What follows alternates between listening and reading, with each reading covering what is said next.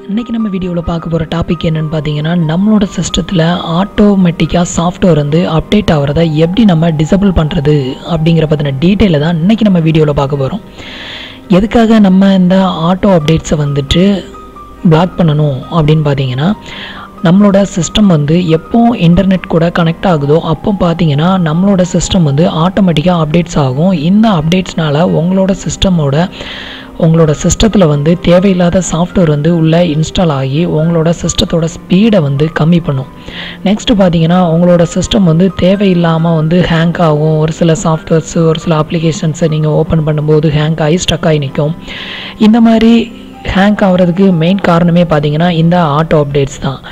இந்த ஆட்டோ அப்டேட்ஸை வந்து நம்ம வந்து பிளாக் பண்ணுறது மூலமாக இந்த மாதிரி தேவையில்லாத சாஃப்ட்வேர் உள்ள இன்ஸ்டால் ஆகுறதையும் இந்த மாதிரி ஹேங்க் ஆகுறது சிஸ்டம் ஸ்லோ ஆகுறதையும் நம்ம வந்து அவாய்ட் பண்ணலாம். ஸோ இப்போ வந்துட்டு நம்ம அந்த எப்படி வந்து பிளாக் பண்ணுறது அப்படிங்கிறத பற்றின டீட்டெயிலை இப்போ நம்ம வீடியோவில் பார்க்கலாம்.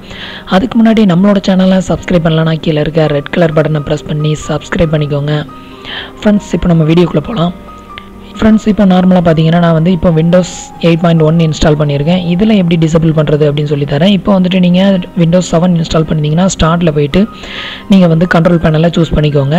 இப்போ வந்துட்டு நான் Windows eight point one use பண்ணுறேன் இதில் செட்டிங் போய்க்கிறேன். செட்டிங்கில் கண்ட்ரோல் பேனலை சூஸ் பண்ணிக்கிறேன். நீங்கள் வந்துட்டு ஸ்டார்ட் கொடுத்தீங்கன்னா அதுலேயே வந்துட்டு உங்களுக்கு கண்ட்ரோல் பேனல் அப்படின்னு சொல்லி சர்ச் பாக்ஸில் போய் டைப் பண்ணிங்கனாலே உங்களுக்கு கண்ட்ரோல் பேனல் வந்து ஓப்பன் ஆயிரும். நெக்ஸ்ட் பார்த்தீங்கன்னா இந்த கண்ட்ரோல் பேனல் ஓப்பன் ஆயிடுச்சு இதில் வந்து ரைட் சைடு டாப் கார்னரில் பார்த்தீங்கன்னா சர்ச் கண்ட்ரோல் பேனல் அப்படின்னு ஒரு ஆப்ஷன் கொடுத்துருப்பாங்க. இதில் போயிட்டு விண்டோஸ் அப்படின்னு டைப் பண்ணிக்கோங்க. விண்டோஸ் அப்படின்னு சொல்லி நீங்கள் டைப் பண்ணாலே உங்களுக்கு ஃபஸ்ட் இடத்துல விண்டோஸ் அப்டேட்ஸ் அப்படின்னு ஒரு ஆப்ஷன் காட்டும். இதை கிளிக் பண்ணிக்கோங்க. இப்போ பார்த்தீங்கன்னா பேஜ் உங்களுக்கு இந்த மாதிரி தான் ஓப்பன் ஆகும். இதில் லெஃப்ட் சைடில் பார்த்தீங்கன்னா சேஞ்ச் செட்டிங் அப்படின்னு ஒரு ஆப்ஷன் கொடுத்துருக்குறாங்க. இந்த ஆப்ஷனை ப்ரெஸ் பண்ணிக்கோங்க. இந்த ஆப்ஷனை ப்ரெஸ் பண்ணிங்க அப்படின்னா இப்போ பார்த்தீங்கன்னா இம்பார்ட்டன்ட் அப்டேட்ஸ் அப்படிங்கிற இடத்துல வந்து இன்ஸ்டால் அப்டேட் ஆட்டோமேட்டிக்லி அப்படின்னு சொல்லி உங்களுக்கு வந்து கொடுத்துருக்கோம். இதை வந்துட்டு நீங்கள் நவர் அப்டேட்ஸ் நவர் செக் ஃபார் அப்டேட்ஸ் அப்படிங்கிற இந்த ஆப்ஷனை சூஸ் பண்ணிக்கோங்க. இந்த ஆப்ஷனை சூஸ் பண்ணிவிட்டு நெக்ஸ்ட்டு கீழே போயிட்டு ஓகே கொடுத்துக்கோங்க. இவ்வளோ தான் ஃப்ரெண்ட்ஸ் இப்போ வந்துட்டு உங்களோட ஆட்டோமேட்டிக்காக அவங்களோட சிஸ்டம் வந்து ஆட்டோமேட்டிக்காக அப்டேட் ஆகிறது வந்து டோட்டலாகவே டிசபிள் ஆயிரும்.